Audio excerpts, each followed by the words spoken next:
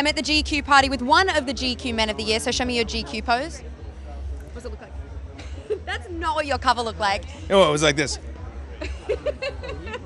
It was really good. wasn't. Yeah, Oh, something like kind of. It was a little not as lunatic. Yeah. loony as I was that. doing this thing I called staring into middle space. Oh, is that how you guys get that look?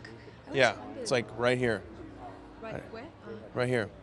Can't see it. Yeah, wow, that's really Yeah, good. no big deal. Does it give you any type of bragging rights at home when you become like No. no? It takes away all my bragging rights. Really? You Yes. think that's cool? No. I love your wife. Who so thinks? much. No. No, can't you be like, hey, I'm GQ Man of the Year? It's kind of- No. Who can say that? You can't say that, even if you are, especially if you are. Oh, It, you, it's it's good. It's hard because I used to be able to say that and people would laugh and think it would be a funny prospect, Uh-huh. the idea of it, and so it was very nice. But now I can't say that because it's true. I have to. do- I can do just straight douche mode now.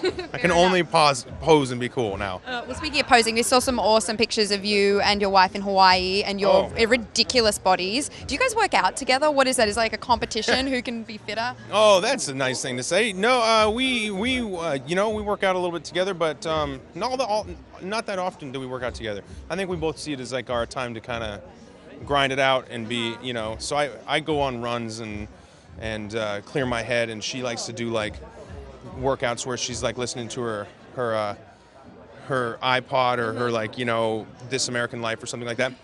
Sometimes we'll we'll hike together. We'll do that kind of stuff together, but we don't like go hit the gym together. Right.